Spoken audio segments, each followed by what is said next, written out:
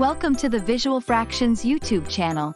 Today, we're going to explore how to simplify the fraction 27 36 to its lowest terms. Let's look at the fraction 27 36 To simplify it, we'll divide both the numerator and the denominator by their greatest common factor. The greatest common factor, or GCF, is the largest number that can evenly divide both the numerator and the denominator of a fraction without leaving a remainder. For 27 and 36, that's 9. We start by dividing 27 by 9, which gives us 3. Then we divide 36 by 9, which results in 4.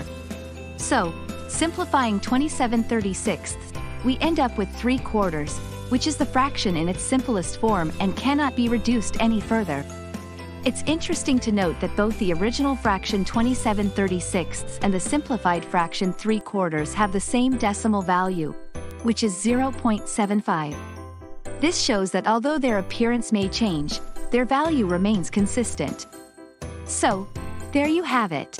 The fraction 27 36 simplified to its simplest form is 3 quarters, and in decimal form, it's 0.75.